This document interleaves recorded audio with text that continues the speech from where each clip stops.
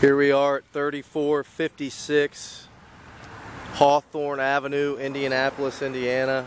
It is Friday, June 12th. We are delivering the windows that were ordered for this place in the middle of May before we received a stop work order from the owner on May 29th. There's the address.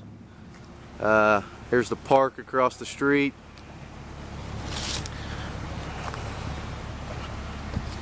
Another shot at the front of the house, 3456 Hawthorne Avenue. We have eight windows in total. Uh, backing out the installation price since we're not putting them in. But again, these windows were ordered in the middle of May, approximately a week and a half, two weeks before the halt work order on May 29th, which is a Friday.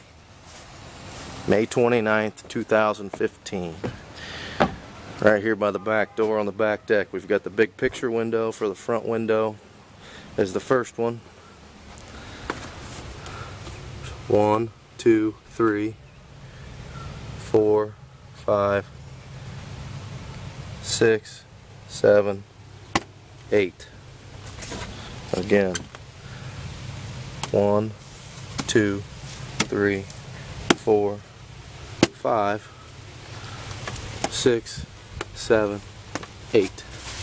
Eight windows in all have been delivered on Friday, June 12th.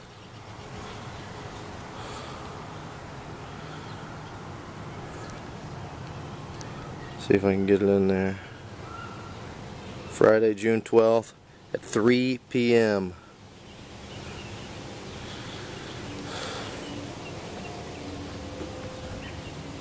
by Jim Harrison, Russell Doherty with Gabbe Incorporated.